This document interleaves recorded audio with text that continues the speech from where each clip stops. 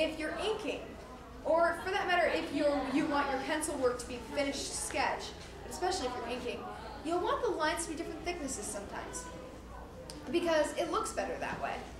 Now, some people like like very little line weight difference. In fact, um, in most manga, I've noticed there is very little line weight difference. But uh, the ones that I actually think look really good, there is a lot of variance and a lot of richness to the way it's drawn. So consider playing with that. Consider learning where the shadows hit and all that kind of thing. I, I still have a lot to learn with that, but it's something that I'm currently studying because I think it really makes things look better.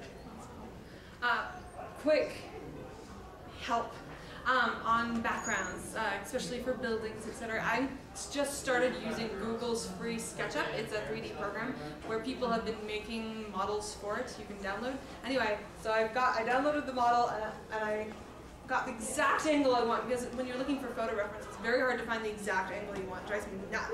Anyway, so I get the exact angle I want. I'm like, yes, that's it. And then I copy that out. I don't trace it, I actually draw it out, but it's useful reference just you know, Google SketchUp. Google Earth can be useful sometimes too. Um, if you work digitally, zoom out. Don't just look at it little bitsy, do zoom out to make sure that the whole thing does look good. Also zoom out to make sure that you're not spending three hours obsessing over a line that nobody can tell doesn't look perfect when it's zoomed out. It's, you know, Yeah. common sense. like you don't actually have to erase as much as you you do. Yeah. Um, uh, if you sketch in blue, you can erase that by scanning it in in color, convert the file to CMYK, turn off the blue channel, and then you've just got the grayscale, the black lines. She taught me that trick. I didn't know that. It's really easy. Um, okay, collaborations. A lot of people will say, I want to do a comic, but I'm a writer or I'm an artist. In most cases, it's a writer looking for an artist, not the reverse, which means that if you are a writer looking for an artist, you're going to have a hard time of it. Trust me on this. I taught myself to be an artist because I was a writer looking for an artist and never finding one. But uh, if you're lucky enough to find a collaborator, and that's the way you want to do it, there are some things to keep in mind. First of all, find someone who's willing to work as hard as you will. Find someone who's not going to drop the ball halfway through or even on the second page, which is what happened to me three times running. I'm not bitter. find someone who loves the story as much as you do and find someone who has the same work ethic you do. For that matter, find someone who doesn't have a stronger work eth- work ethic than you do, because if they want to do three pages a week and you just want to do one, there's going to be some tension there because you're going to feel stressed and pushed. And that may not be good. So, um, have a plan if things break up. Make sure you know that if the collaboration goes sour, so and so keeps this, so and so keeps this, so that you don't wind up with hard feelings. I had uh, an attempted collaboration with a friend of mine that I was supposed to do the writing, she was supposed to do the art. She decided she hated my script. She wrote her own script, and then she went and turned it into her own story, which, by the way, her script was far inferior to mine, and I'm not biased at all. Um, this was a problem because we didn't know ahead of time who kept the story, so she took the story. Now, I wound up saying, all right, you can have it because I can't do anything with it without an artist. Um, but I had to let go of a story that really meant something to me that we'd created together so that she could do it alone. So have a plan. Make sure you know what's going to happen so that there aren't hard feelings, so that you're not going to lose friendships over this. Um, Realize um, as the reason why it's so much easier to to be an art, writer and harder to find an artist is the art takes a lot of time. Um, each one of my pages takes at least six to eight hours of work. yes. and that's a lot of effort. Um, be full-time job, etc. Uh, so the realize that the art is a lot, very labor-intensive, and so they have to be very involved. You either have to be paying them, or it's, they're really excited about the story.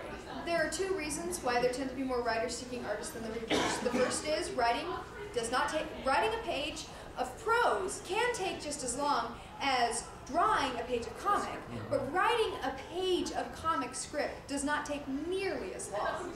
So that's one reason. The second is, frankly, it's easier for people to think that they're good writers when they're not than it is for people to think they're good artists when they're not. So there are a lot of people out there that think they're very good writers when they really need an editor and they really need a lot of peer review.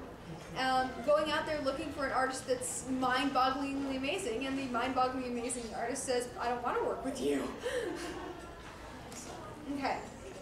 Um, decide early on also about the division of profits, resources, all that kind of thing. Not just so that you know in case you break up, but so that, for instance, we are actually starting collaboration, the two of us. And we decided that 75% uh, of the profits go to her, 25% to me. I was actually willing to take less. I know she takes more time on each page than I do, a lot more time. Therefore, of course, she should get more profits. Keep this in mind. Make sure that everyone's happy before you start. Again, avoid hard feelings. The cool thing about our collaboration is um, I know that my weakness is humor, while Emily does humor fantastically. So I'm like, I wanted to do something that was funny because I know that that's more popular. Like people go and read something funny quicker. Um, while I do drama all the time. Like, oh. But uh, anyway, so I'm like, Emily, I want to do something funny with you. And so she's like, okay, we're going to do something funny. I'm like, sweet, an artist who's amazing wants me. Yes! So it's going to be pretty and funny. It's exciting. Okay. Yeah, okay. But we, look at my, watch my website. There's a thing going around if you want to read that someday. Okay. We haven't got much time left. We've got to hurry. Okay, oh. storytelling. Don't start with an epic. Oh my goodness.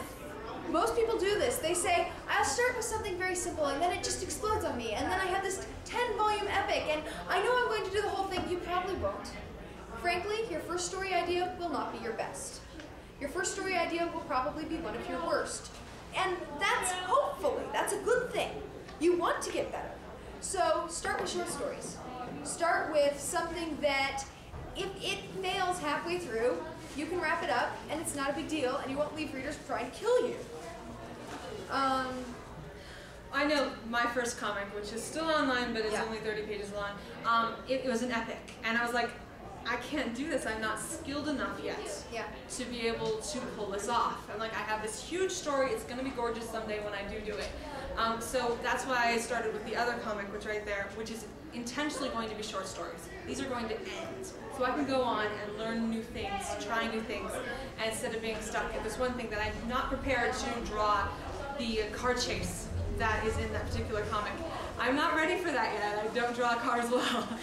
and so I'm starting with things I can do and forcing myself to get better until someday I will go back to that story. When I started my comic strip, I set it up in such a way that it had individual arcs, and if I ever got sick of it earlier than I thought I was going to, I could end it there and have it be completely satisfying. Um, when I started my manga, I did not intend a full length.